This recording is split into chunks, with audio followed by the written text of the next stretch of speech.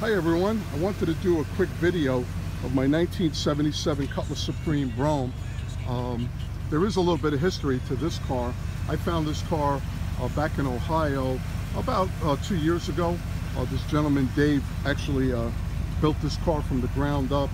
Um, and uh, some interesting tidbits about the car.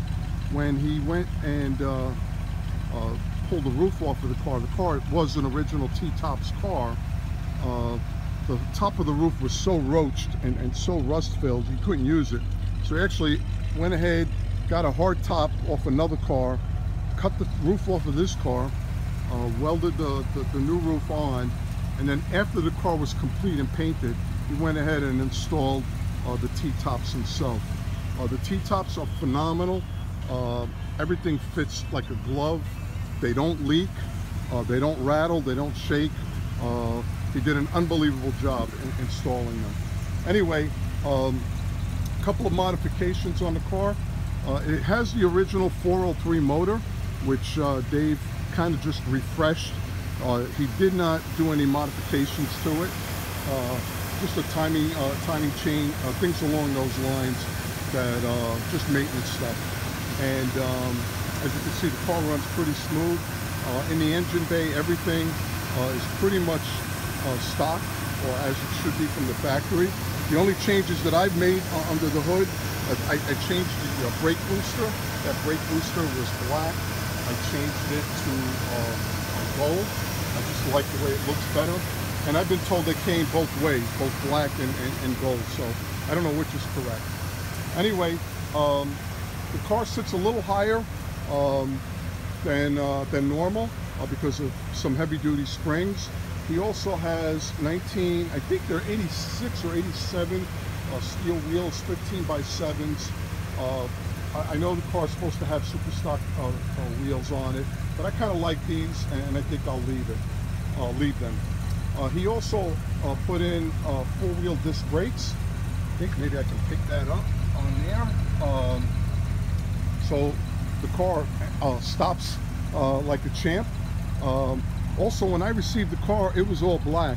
I tried to make this car look like the first car I bought in 1977, which uh, I was really wanting to buy a Hurst Olds. Uh, and they were supposed to make the Hurst Olds that year, but unfortunately, the project got scrapped. So I put together what I thought a Hurst Olds would look like.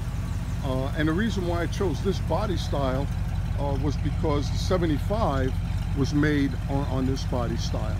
Uh, I do know that the prototype uh, that, that exists today was uh, was made on, I guess, the 442 um, fastback body style, or Cutlass S, I think it's called, I'm not sure. But anyway, I chose this. And unfortunately, when I saw the Brougham interior, I just fell in love with it, and I ordered a Brougham interior instead of the Salon, which probably would have been closer to what a Hurst would have been. Anyway, um, this is the first car that I bought out of uh, Boston, first new car that I bought out of high school uh, when I first attended college. And when I saw this on online, I said I got to have it. Again, I, I uh, had the car pinstriped. I put a vinyl roof on it. Uh, a good friend of mine, Eric, uh, did the honors and he did a phenomenal job. I had the emblems put back on the car because Dave, the builder of the car, welded everything shut. Um, the, these uh, emblems are put on with uh, 3M tape. Uh, one of my cousins who owns a body shop did that and you can't even tell.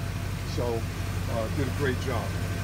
Anyway, uh, the car came with about 50,000 miles on it and what um, I've driven it probably about seven or 8,000 since I've had it. Uh, I've had it two years.